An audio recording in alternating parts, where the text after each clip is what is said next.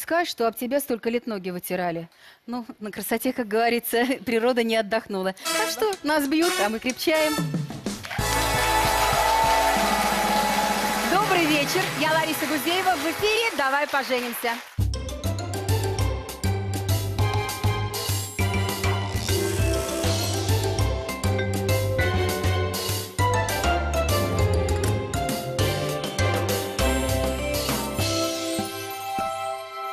Привет, девчонки. Нам сегодня в очередной раз придется побыть мамами.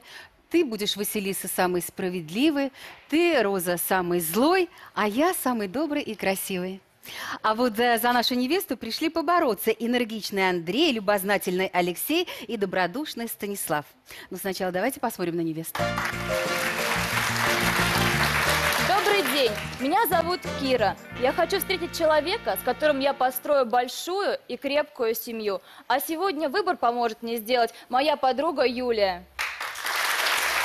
Проходи, дорогая. Кира, 22 года.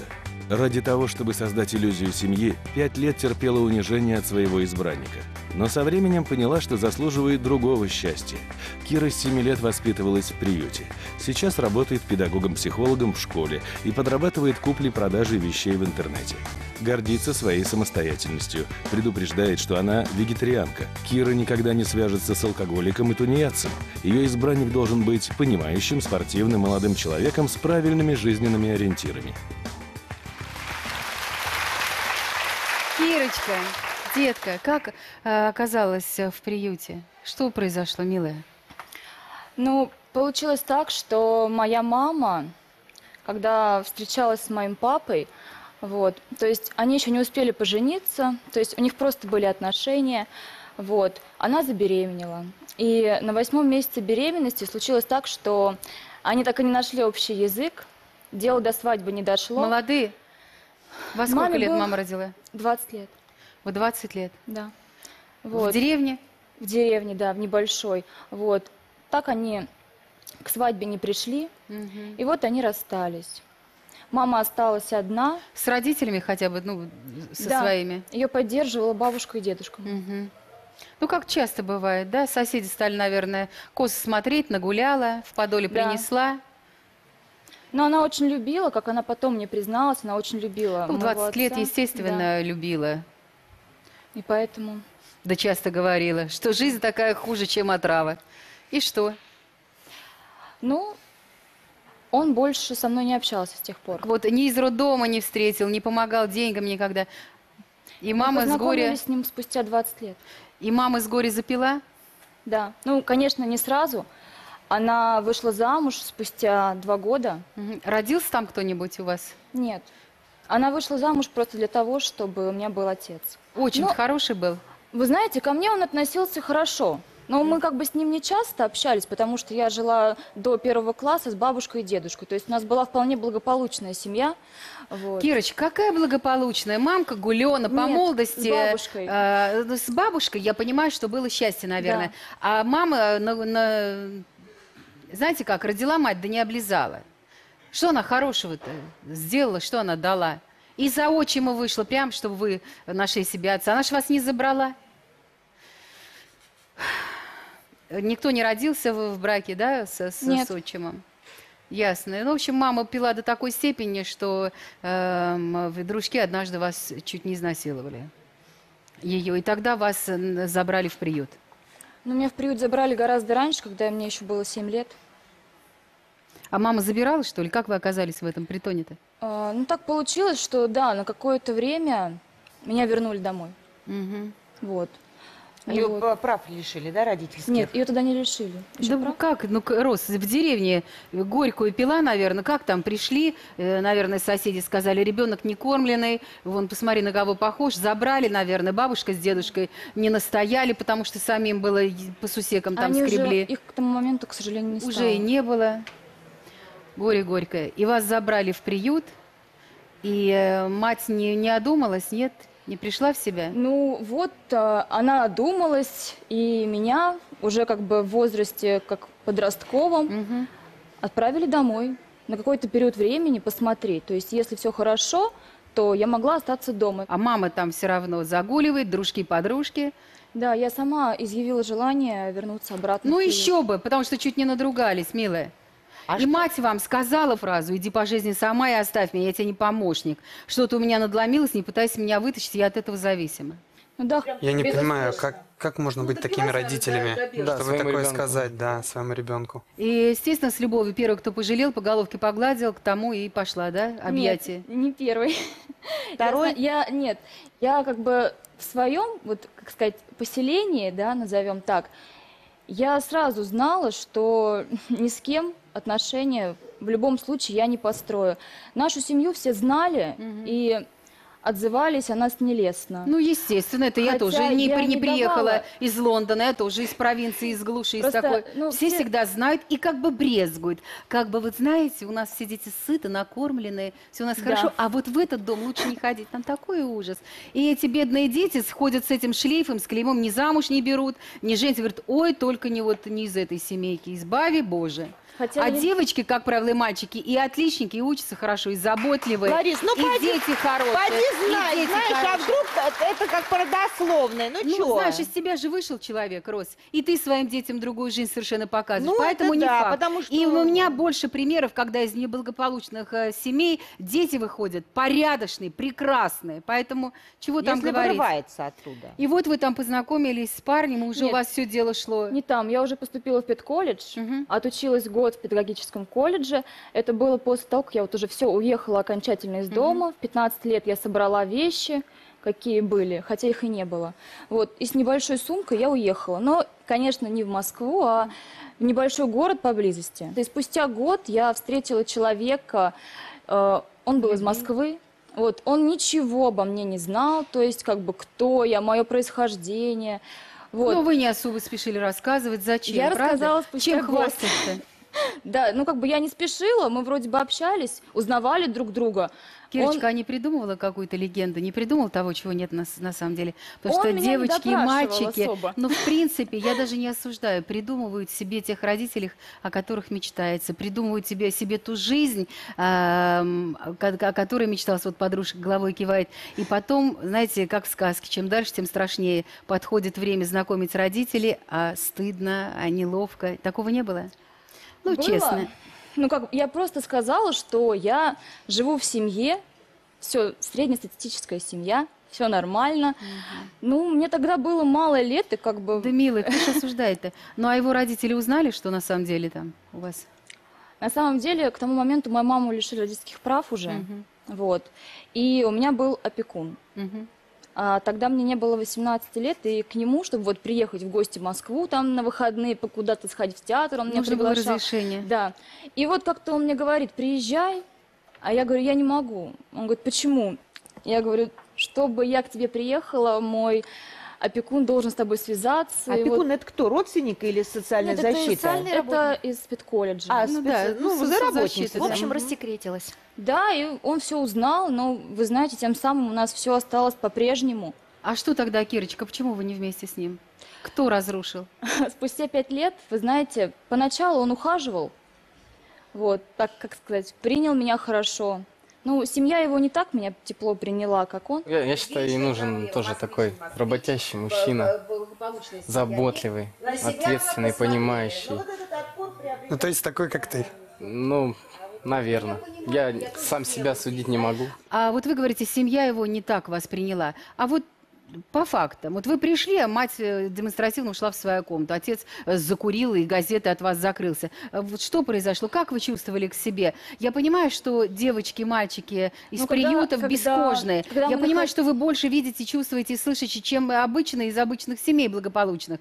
Э, Может быть, вам показалось, может быть, вы преувеличили что-то. Вот Нет, расскажите. это все знакомые мои тоже поняли, что, например, когда был какой-то день рождения, Новый год, то есть мы сидим за большим столом, вот, и его папа говорил там, например, какой-то тост, и он просто мог сделать вид, что он меня не замечает, вот, или, например, мог сказать, что надо мне вот своего сына женить, скорее бы найти ему достойную партию.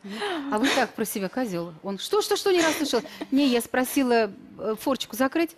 Проходит и минуточку, вы просто говорите, стервы. Она что-то сказала, я говорю, стерлить будете? Вот я хотела вас там угостить. Понимаете, просто надо таких человек тоже возвращать э, на землю. И кто они-то такие? Это вечная проблема. Москвич не москвич, благополучная семья нет.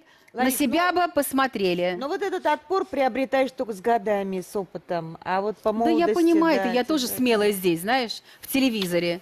А так э, глаза в пол, синяя вся, вжи- вены вздуваются на нервной почве. э, сижу, глаза таращу. Я такая же, это я здесь смелая, понимаете? Я Миленькая. стеснялась просто Ну, взрослому человеку естественно. отвечать что-то. Ну, в общем, они, да, вас ра- развели? Нет, просто молодой человек мой потом открылся с другой стороны. Вот. Начались измены. Вот. Видишь, кстати, ни слова о финансах. Это хорошо, это очень хорошо. Да. Даже когда приходят на «давай поженимся», обычно говорят «хочу вот богатого, с квартирой». Она хочет верного. Кирочка, ну вот, э, если у вас такие были уже долгие отношения с вашим молодым человеком, почему вдруг в отпуск на юг поехали вы одна? А вы как знаете, можно было э, оставить в огороде-то одного с капустой и морковкой? Он меня отпустил сам.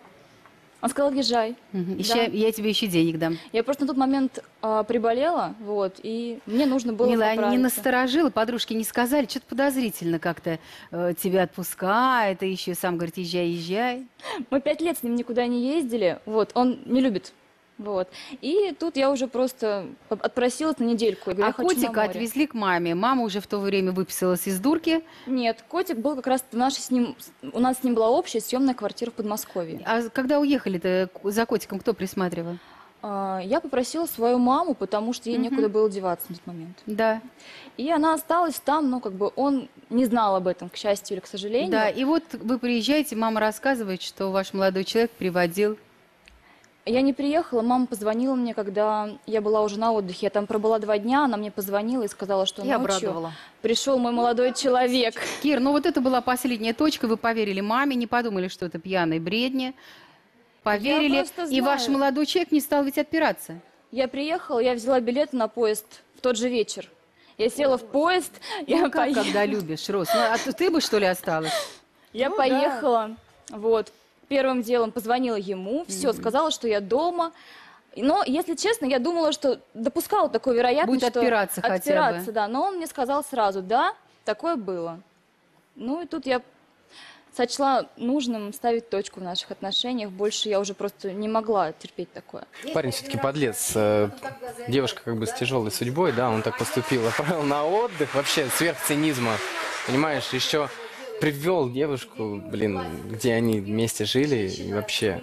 И при этом вот гады какие. И еще говорят, и куда ж ты денешься, понимаешь? Сам нагадил. И вот, вот так они нас ниже плинтуса-то отпускают. Роза, а ведь есть правда в их э, словах. А мужчины так считают, потому что, особенно если он кредитоспособный, и если вы от него материально зависите, если один раз простили, они потом так глаза и говорят, куда ты денешься? Квартира моя, детей содержу я, ты на что ходишь, вот это вот делаешь себе маникюр, педикюр, платье кто тебе купил?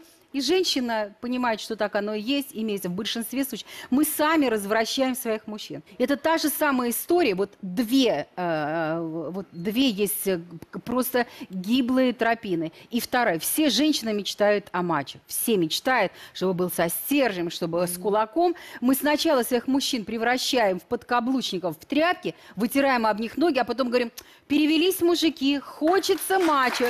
Так ты его не заставляй готовить, не заставляй его превращаться в бабу с тряпкой, с половой, когда он там все это убирает, стирает. Вот и не будешь потом мечтать о мачо, он будет рядом с тобой. Поэтому, милые, вы, надеюсь, не мечтаете э, о подкаблучнике? Нет. Ну хорошо, кроме того, что он должен быть открытый, э, найдем такого открытого, работящий. Да, это приветствуется. Да, у вас есть какая-то, ну это вот, извини, Про- ты а- а- да. ам, простой или вот с наворотами в финансовом плане? Как вот к этому-то? Ну, вы знаете, слишком с наворотами не надо. Ну, а какой вот доход в месяц? Какой, чтобы было понятно? Вот чего? Ну, Чтобы может, на все зарплатка. хватало. А? Не, Чтобы на на что Зарплатка хватит какая должна никогда, быть? Кир, на все не хватит никогда. Но каждый человек понимает, на что ему нужно. Действительно, без чего он не может прожить. Ну, я не избалованная, мне слишком Ну, если у нее какие-то зарплата излишки не 50 нужны. будет тысяч, нормально? Нормально. Нормально. Нормально. Правильно, потому что своего приданого особо-то нет, я так понимаю, да? Дом только. Ну, дом где-то, ну, как дача, скажем Как так. дача. Дом, до- дом в деревне. А здесь, по сути, в общем-то, только твоя красота, молодость, руки, ноги. Кирочка, Ну да, а я вас хочу обрадовать. Сегодня, слава богу, наступило прозрение у наших мужчин. Сегодня все хотят хорошую жену, хорошую, приличную, чтобы не стыдно было с друзьями знакомить, чтобы не страшно было оставлять, когда они уходят работать или уезжают зарабатывать. Хорошую, работящую, трудолюбивую, которая понимает, что почем, которая будет не мотовка, которая и деньги его сохранит, и детей э, знает, как воспитывать. Поэтому вы хорошая невеста. Хорошая. И будем искать хорошего жениха. А поконкретнее нам расскажет Да, а вот, по- вот я хотела бы дополнить. А вот э, про тех женихов, про которых сейчас Лариса рассказывала, на нашем сайте можно найти двое.тв. Так что, пожалуйста. И как бы это цинично ни прозвучало, Василис, ну вот согласись со мной, многие мужчины мечтают о сиротах. Многие. Да, Не это- хотят. Да, звучит цинично, но в Цинично, этом есть но определенные плюсы, увы. Мгм. Вам нужен мужчина внутренне вольный. Но очень важно, чтобы этот дружелюбный, свободный человек не был слишком понебратским, чтобы он к вам не относился плево. Потому что очень сложно найти тонкую грань между дружелюбием человека и плохим отношением к окружающим. Или между его легкостью и его безответственностью. Вот нам сегодня нужен такой, с одной стороны, внутренний, очень свободный, с другой стороны, достаточно ответственный человек. И еще, пусть он не скупится на вас. Пусть он не боится тратить на вас деньги. Для вас это очень важный индикатор. Потому что у вас, к сожалению, в гороскопе есть риски, что муж будет зарабатывать неплохо, но будет все как-то к себе ближе, к себе. И свои обслуживать интересы. Видишь, внутренне вольный мне нужен. Андрей, ты прям вообще подходишь под Чёрт. все описание. Ничего не изменилось с времен Адама и Евы, все одно и то же. Короче, у тебя есть только два варианта. Первый вариант – выходить по расчету, приданого у тебя никакого нет, ни квартиры, ничего. Найти сегодня хорошего, простого парня из хорошей семьи. Пусть он тебя холит, лелеет и любит больше, ничего, полюбишь, и тепла ему дашь, и так далее. Вот такой брат по расчету. Либо Извиняй, смотри сегодня, но а, свою подушку безопасности создавай сама. Карьеру где-нибудь к 30. Но я думаю, что первый вариант намного лучше. Потому что без... Вот по любви это вот прямо не для тебя сейчас. Полюбишь.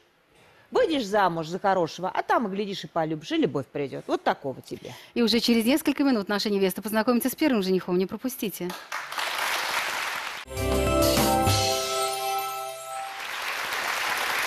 В эфире «Давай поженимся» у нас в студии Кира. Встречайте первого жениха.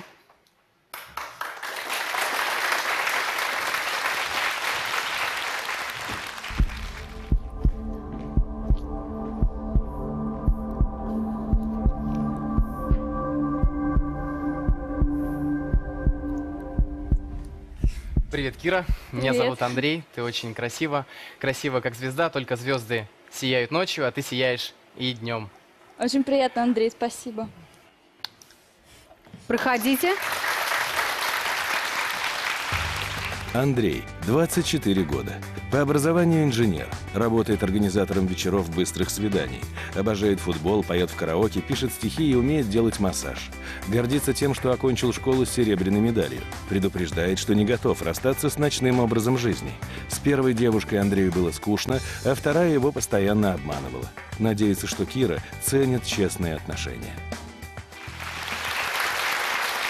Первый раз слышу. Андрюша, а что это за вечера быстрых свиданий э, вы устраиваете? Может быть, пора уже чем-то серьезнее э, заняться?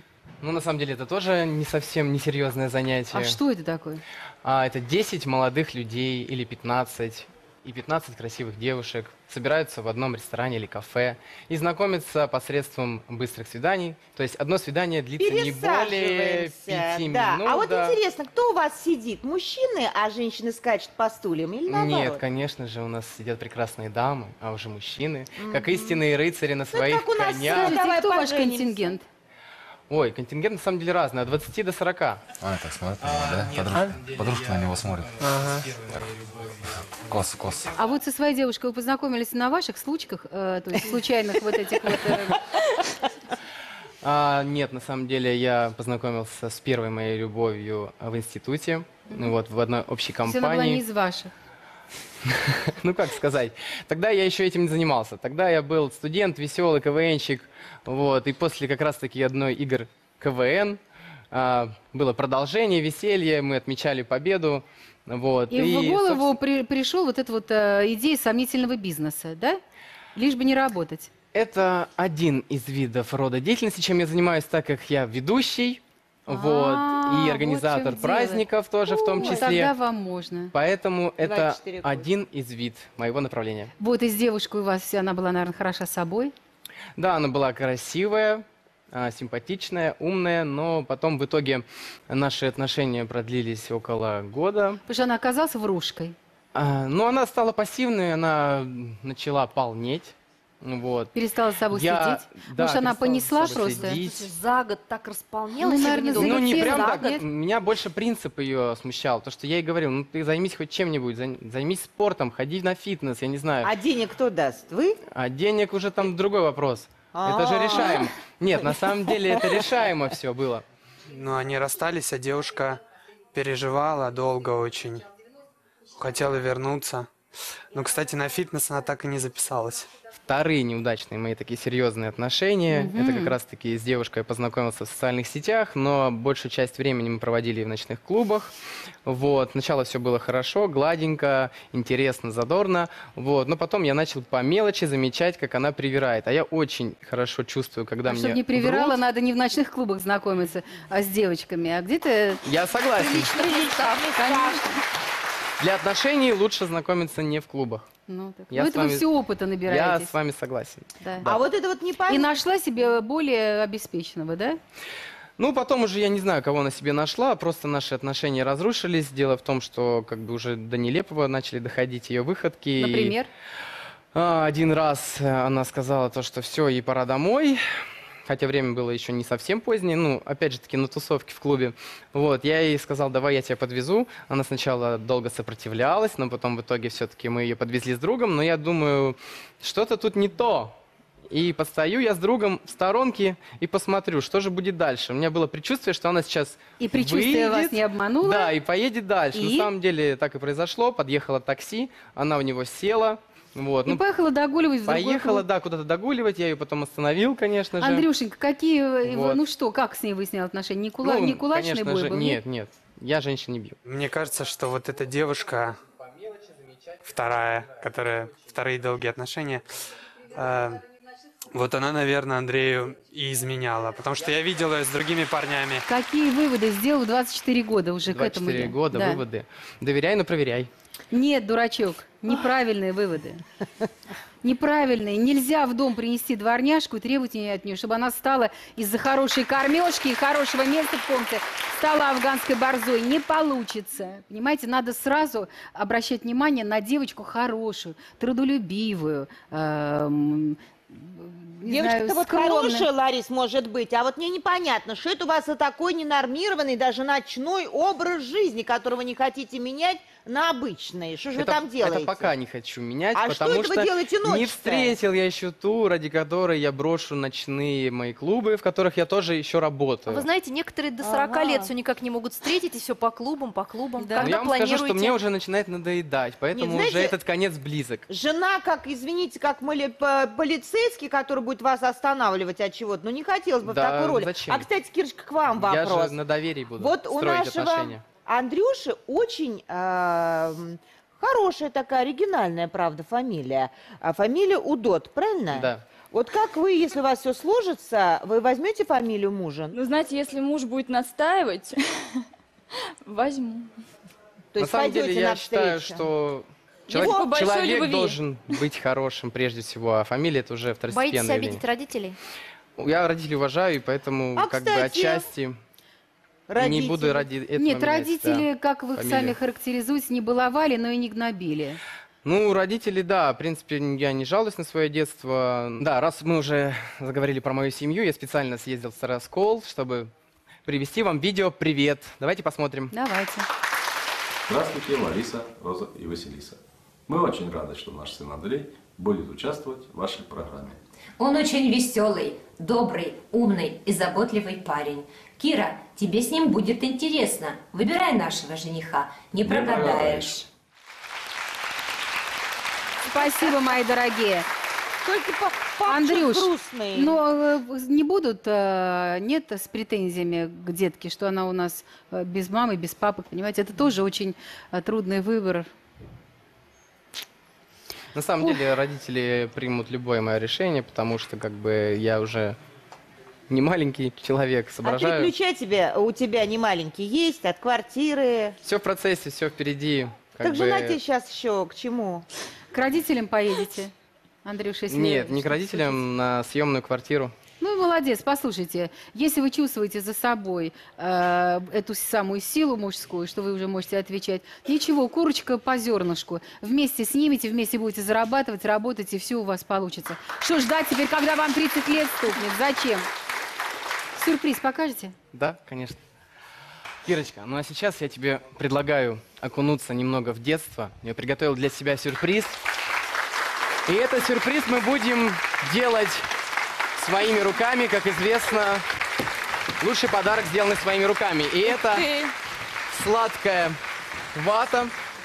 Вот, сейчас я немного перевоплочусь в красивого дельца сладкой ваты. Надеюсь, мне этот колпачок идет. Идет, идет. Да, смотри, мы включаем. Аппарат должен немного нагреться. Ты вообще любишь сладкую вату? Да, люблю. Ну вот сейчас мы будем ее делать. Тяжелый сюрприз, он готовился. Полетела вата. Берегите костюм. Да, береги костюмы. Ага. Она очень липкая, она очень сладкая. Но главное с душой. Да, самое главное от души. Да. Я думаю, все девушки любят сладости, а в моей работе сладкая вата предполагает наличие праздника. Ну вот такой, хоть не профессиональный, но зато Спасибо. от чистого сердца.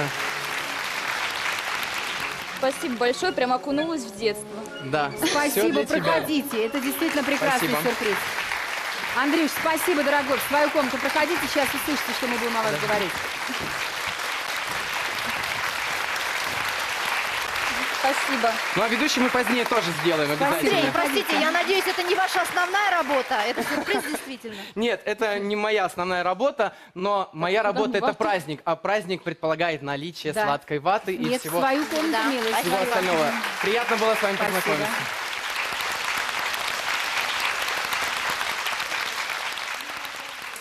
Познакомиться. Я весь сладкий. Ты сладкий мальчик у нас, вообще Сладкий молодец. Ты молодец, Андрей. Хотите, я вас удивлю? Я ни разу в жизни не пробовала сладкую вату. Ну, то есть никогда. Ты должна. Никогда в жизни не пробовала. Должна Вот она мне радовать. некрасивая. Представь, Да, вот как-то вата, думаю, как можно вату Зато есть? она вкусная. Правда, да? Правда, А поделитесь, а, обязательно поп- девчонки любят попробовать. Никогда в жизни, вот даже, даже загадаю желание. Ватные тампончики. Думаю, вот как можно Вот это? попробуй, отщипни кусочек, она отщипывается. Тебе будет вкусно. И она так, она просто из пушистой становится сразу раз и сладкой. Дети, знаешь, не зря ведь, дети плохо не выберут. Вот, даже ведущие полакомятся.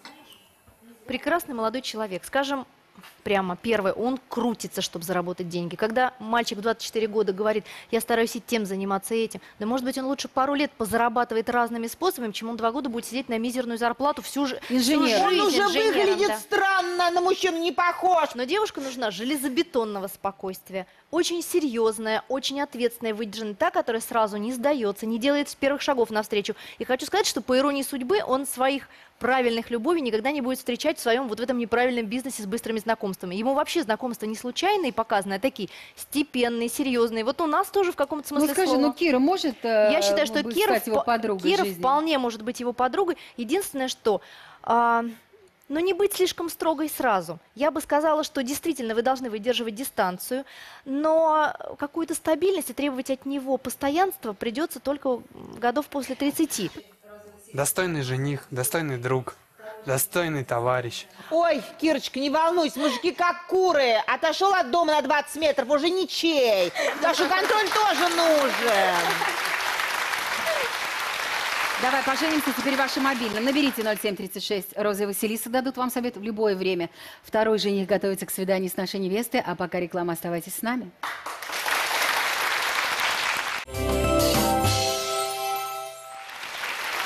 В эфире «Давай поженимся» у нас в студии Кира. Встречайте второго жениха.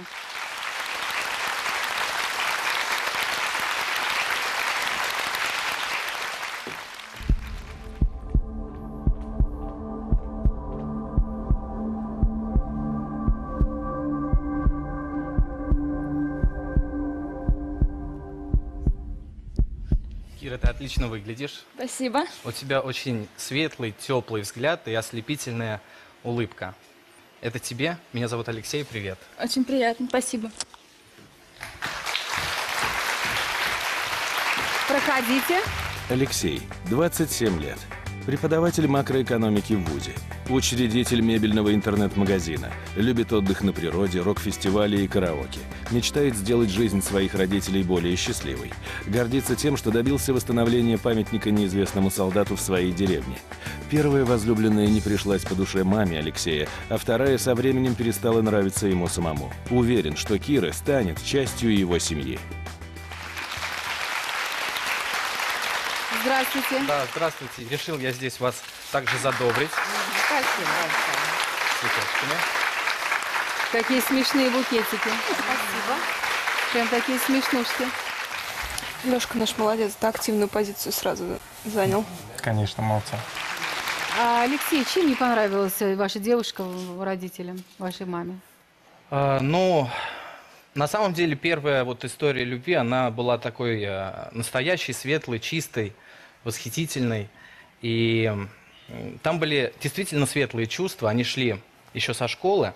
Так я не про вас спрашиваю, а про маму. Конечно, в этом возрасте у всех светлые чувства, восхитительные. Вы Мама были на самом отличник, деле- она троечница. Да, мама на самом деле боялась то, что в возрасте там где-то 15-16 лет, то, что я...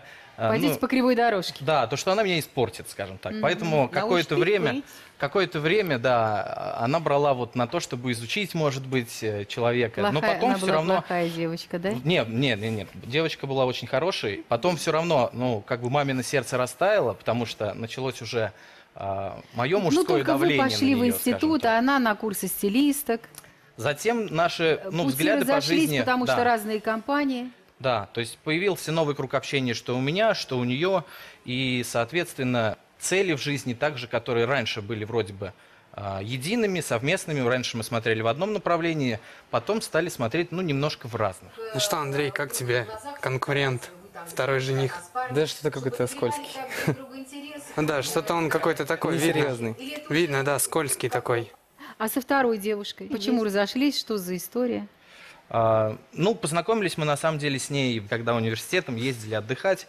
Ну вот, это тоже была светлая пора, когда там мозги не были забиты какими-то... Рок-фестивали, ужины Да, при да, Луне. да, да, да, да. да, ну. Значит, и мы приехали туда немножко оторваться от той обыденности, которая есть у нас. Вот. там. Мгм. У нас это получилось, и А мы поняли вы то, что начали... мальчик из хорошей семьи, у вас не получилось оторваться. Вы, как всегда, влипли. То есть влюбились э, в девочку. Может быть, девушку, может быть и так, Да, да. потому что у вас на лице написано «хороший мальчик с хорошей семьи». Поэтому просто так оторваться вас не получится. Вы всегда будете влюбляться и всегда серьезно. Но затем, также имев отношения в течение там трех лет, а, видимо, вот любовь живет три года, и Ой, некоторый... глупости, как не не и некоторый- это да, глупости и некоторый период, а, когда, может быть, э, девушка ждала какого-то предложения, но потом мы начали друг другу, ну, немножко, скажем Издеваться так... друг над да, другом. Да, да. И в итоге это пришло, Да, пришло все кровь. к тому, что... Скажите, вот для чего Да. было поехать в Турцию э, и друг э, у друга на глазах флиртовать? Вы там с девушкой, она с парнем, что подогревали так друг друга интересы, кровь Ну, э, это разгоняли? как- это как- Зачем? Или это уже у- у- как бы последние вздохи были ваши? Это как раз были некоторые последние попытки, может быть, оживить Реанимировать, как-то, да? оживить, реанимировать, да, отношения. Но как мужчина настоящий, он должен, да, идти до конца, бороться за свою любовь. Это все правильно, тем более в том возрасте, в котором это было. Как вам, Кира, нравится? Хорошее впечатление складывается пока. А вам, Леш?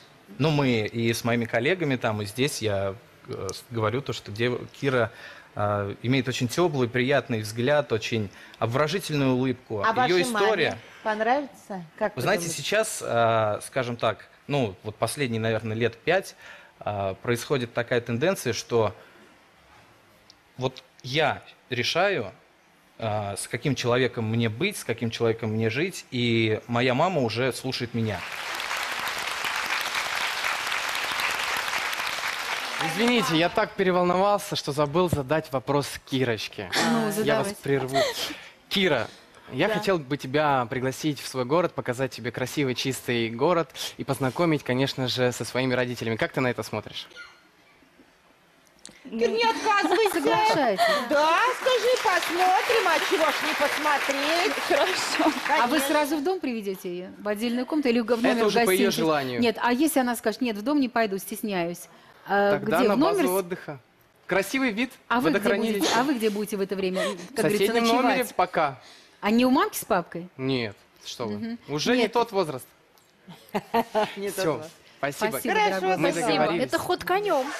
Андрей, красавчик. Ира, можно еще вопрос задать? Вот вид- Конечно. я видел фотографию, нарезку, там различные фотографии, там а, ты каким видом спорта занимаешься и занимаешься ли чем-то? Да, я занималась в детстве гимнастикой художественной. А, Сейчас я занимаюсь фитнесом, танцами. Вот, танцую зумбу. Это что такое? Первый раз слышу.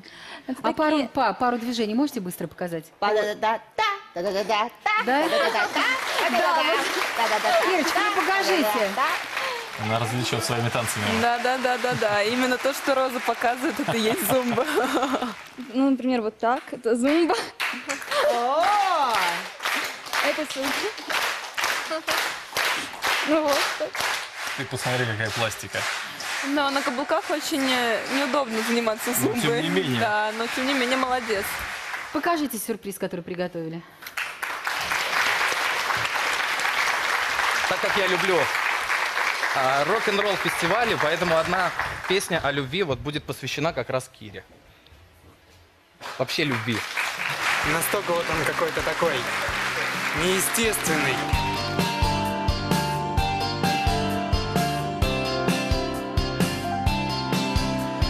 Замер троллейбус в троллейбусном парке. Перепутал механик провода по запарке. Выключив лампочки в сорок электросвечей. А люди ночами делают новых людей Такие тонкие стены из цветна и картона В светло-серых концах из стекла и бетона Доверяя всему, что плетут из дневных новостей. А люди ночами делают новых людей люди кричат, задыхаясь от счастья И стонут так сладко, и дышат так часто Что хочется двигаться с каждой секундой быстрей А делая, делая, делая новых людей Спасибо, дорогой. Вам спасибо. Проходите в комнату.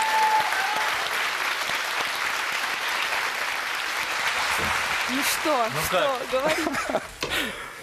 Как? Как тебе Как невеста? Ну, Кира классная. У меня сложилось впечатление, что Леша вот с таким болезненным самолюбием, и по-настоящему ему сердце никто и не разбивал. Но была какая-то одна невнятная история в молодости, потом вторая такая курортная. А может, потому что его родители так залюбили, может быть, потому что очень порядочный, честный парень, прям хороший, хороший. Хороший, хороший парень, хороший. Все-таки его козерожья луна ввела вас всех в заблуждение. Он внешне такой спокойный, а на самом деле это мужчина, который без отравления крови чувствами вообще жить не может. Ему надо травить или он сам любит ядику подпустить? Он и сам любит ядику э, подпустить, и женщина должна тоже давать и провокации, и каких-то сложностей. То есть это точно не мужчина, который удовлетворится на всю жизнь отношениями «я плюс ты», и у нас все с тобой спокойно. Нужны сложные игры, нужна женщина с крепкими нервами или тоже с любовью к этим сложным играм. Нет, нет, они ошибаются. Да. Не Нет, они, не- они не про, не про меня говорят. Меня удивляют скорее изменения, которые произошли в Розе, потому что 6 лет назад ты говорила, что мужчины это собаки, их классифицировал по породам. А у- только что я тебя услышала, что уже до кур ты спустила свое мнение о них. Начали с собак, закончили курами. Кира, не слушайте, с третьим женихом будете знакомиться или уже Будем. хватит? Будем? Ну тогда Будем. проходить.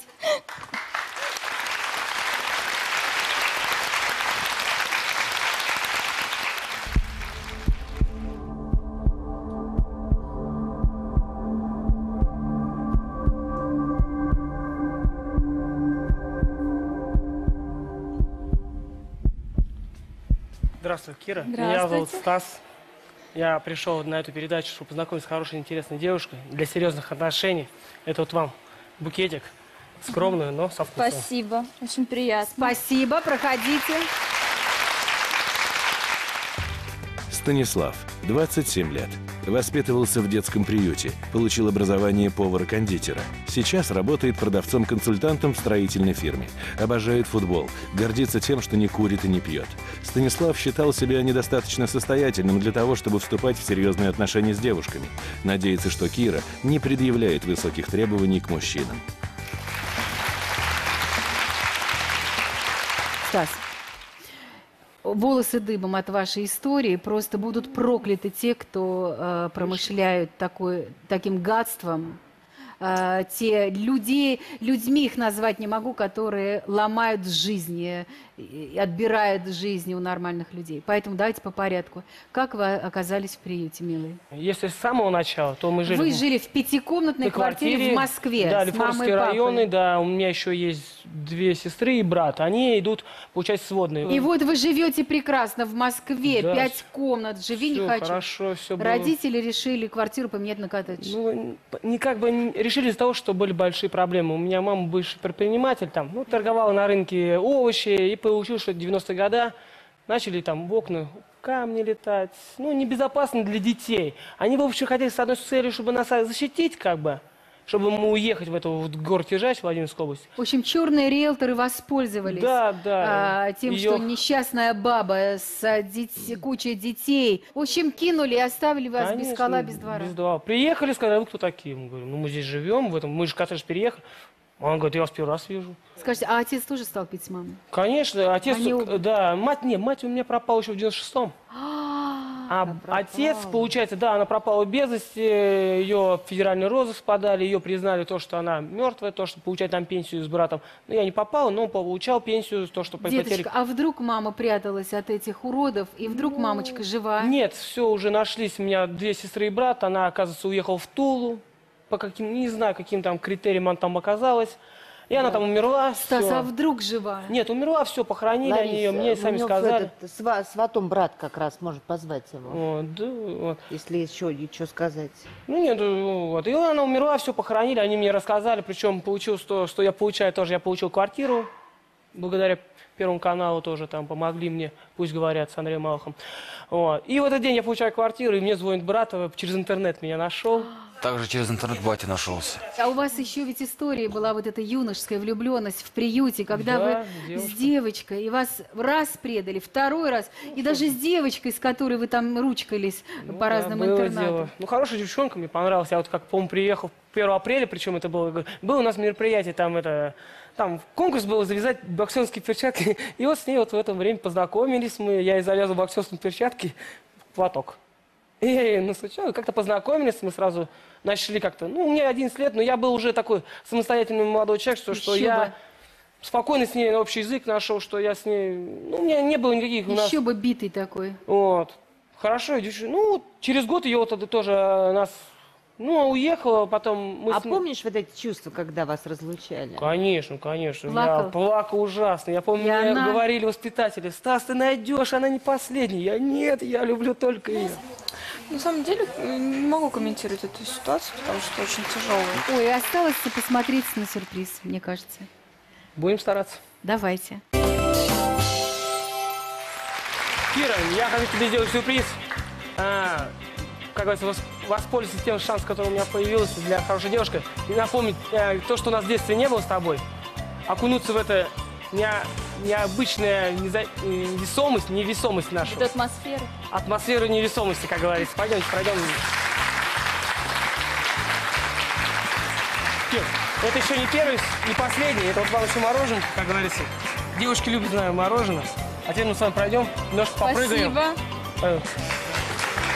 Так, туфельки снимем. Я думаю, ничего такого. Ну ничего такого. Так, блин, я буду неделю снимать, ну, хорошо. А то все, все, заходи. Да, прям сюда? Заходи, заходи, не бойся, я тебя держу. Опа! Держись за меня. Ты там бо- ботинки полез, с нее снял. Но она каблуком проткнет там. Ну что, вспомнил? Пройдем. О, держись за меня. Я первый. О. Так. Зачем? Ой. Продевай. Спасибо. Не бойся. Мы русские люди. Спасибо. Стас, удивительный, потрясающий сюрприз. Просто такой молодец. Проходите в свою комнату.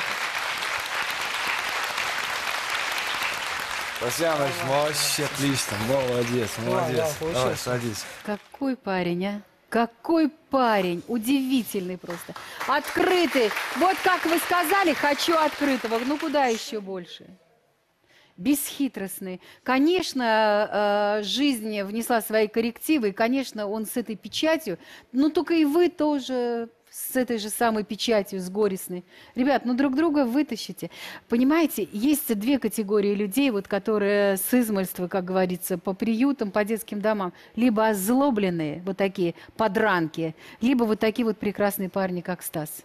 Вам понравился? Хороший парень. Кира сделает правильный выбор. Я тоже в этом уверен. У него Юпитер, который управляет браком, расположен благополучно, то есть у него есть все шансы жениться действительно хорошо. Слушай, а я забыла, а братьев-сестер-то у него сколько? Он даже в комнате. Но они Роза, особенно, с ума, что но я так понимаю, что все-таки не братья и сестры делают нам брак, а вот в его случае гороскоп способен точно хороший брак обеспечить. И самое интересное, что этот самый Юпитер в знаке рыб. То есть женщина знака рыбы может его действительно по-настоящему осчастливить. Может ли он вас осчастливить? Но это и время покажет, и вы сами, потому что все-таки, знаете, в браке и в отношениях очень важно чувствовать, что ты нужен, что ты улучшаешь жизнь другого человека. Девчонки, Это а потом вы сейчас со мной не ценно. сможете не согласиться. Потом, как только эти родственники видят, что не надо больше тратиться на, на сироток, э, что у них все хорошо, и квартиры, и работа, откуда-то появляется такое количество родственников, что даже столько не надо. Понимаешь? Это когда сиротка, их нигде нет. А у меня сейчас в какой город с гастролей не приедешь? Здравствуйте, я ваша тетя. Думаю, господи. Где-то тетя была, когда я жила в общаге на две копейки, понимаешь? Это да. Так что не бойтесь. Что наш бледнолицый друг? Как ты думаешь, к нам зайдет Кир? Ну, мне кажется, предпосылки к этому имеются. Юлечка, посоветовались, я вижу. И кого вы рекомендуете? А вы знаете, все ребята по-своему хороши, каждый интересен. А, Ну, проявил себя как-то по-мужски, более галантно, конечно же, второй. Второй Мгм. жених. Алексей. Он, да, он более серьезный, видно, что уже, возможно, хочет семью, потому что возраст уже такой. Пора бы задуматься, 27 лет. Второй. Да. Мне понравился Алексей и понравился Станислав. Мне они оба понравились. Э, Ваш выбор в любом случае, но вот кажется, что Станислав будет рядом с вами, и вы его осчастливите, и он вас. Смотрите, никто ж не заставляет. Роза, Ну, эм, когда я вам рекомендовала Алексея, да, и говорила о том, что эм, сытых дней будет больше, а моя бабушка еще и добавляла, счастливых меньше. Понимаете? Поэтому со Станиславом счастья больше, поверьте, это да. А вот с Алексеем сытых. Здесь вопрос, вот как я и говорила. Думайте. Знаете, Алексей не пуганный. Ему никто не разбивал сердце. Э, Он не страдал, он не знает, что это такое. Это слава Богу, слава Богу. А Станиславу ничего не нужно будет объяснять на пальцах, милая. Ей нужен сейчас позитив. Да, Огонь. на самом деле нужен позитив. Всегда рядом нужно зажечь. позитивный человек. Василиса, а ты как раз судишь, что там звезды? Удивительный и приятный факт, что вы действительно достойная невеста. Каждому из наших троих женихов вы подошли бы неплохо. Я думаю, что еще много таких мужчин найдется в мире. Вы действительно способны под мужчину подстроиться, вы способны быть зеркалом мужчины в каких-то ситуациях. Вы контактные, вы достаточно гибкая, но не слишком активная и не перехватываете внимание. И гороскоп ваш о том же говорит. Вот вы неплохая девушка для каждого из них. Но вам больше всех подошел бы самой Алексей. Я за Алексея, потому что только его водная Венера способна и сострадать девушке по-настоящему, и сочувствовать, и понять вашу боль и страдания, хотя он показался здесь действительно самым Во- Алексей степенным. второй, который- Алексей второй, да. А он стрелец же. Неважно. говоришь, водная водная Венера. Венера. А, Алексей, хоть и показался всем действительно закрытым, и больше демонстрировал здесь Луну в Козероге свою даже, а не Стрелец, на самом деле чувствующий, тонкая натура, да, непростой молодой человек, но я бы советовала выбрать именно его. Пока вы Его, размышляете... ты же говоришь, да, что она слишком простая для него, а ему М. хочется сложных. Но тем не менее, из всех он подошел Да? больше всех. Хорошо.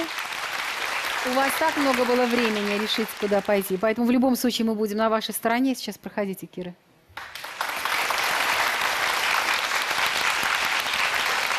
Наши будущие герои ждут ваших откликов. Отправляйте смс с их номером по телефону 4151. Кристина, 30 лет, номер 3503. Певица, любит свою работу и детей. Занимается благотворительностью и готовит кулинарные шедевры для друзей и родных. Познакомиться с состоятельным и уверенным в себе мужчиной, который всегда держит свое слово. Олеся, 33 года, номер 3504. Владелица агентства недвижимости, коллекционирует драгоценные камни, изучает ароматерапию. Мечтает о серьезных отношениях с высоким ухоженным мужчиной, который носит деловой костюм и хорошо зарабатывает.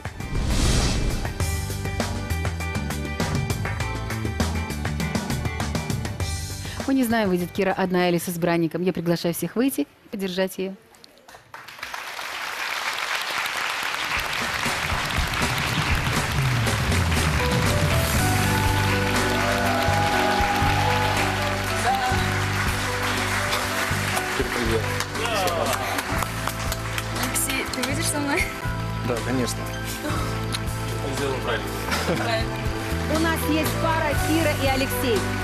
Одиноки, заполняйте анкету на сайте Первого канала. Если вам понравился кто-то из участников сегодняшней программы и вы хотите с ним познакомиться, отправляйте смс с именем героя на номер 4151. А я, Лариса Гузеева, желаю, чтобы любимый человек обязательно сказал вам «Давай поженимся». Удачи! Я могу быть э, мужиком в отношениях, но я за этим не, не- не бегу, не стремлюсь. Сразу озвучил свои требования. Не стал здесь сидеть ломаться и рассказывать, что он сам умеет хорошо готовить, убирается он еще лучше, чем готовит. А пастирушка в выходные – это просто его хобби. Я думаю, что любая женщина стоит перед выбором быть умной или красивой, а которая стоит на перепутье, она мечтает получить Нобелевскую премию и поучаствовать в конкурсах красоты. Она была достаточно прямолинейна, она открыто отвечала. И она, в общем, показала, как она защищала свою любовь, хотя ей не очень-то были здесь рады. На что он мне говорил, что вот нет, я такой есть не буду, такой даже собаки не едят. Это девушка из категории, которая знает, как в обществе блистать, но чтобы дома не отсвечивать, уж ко мне обратиться я научу.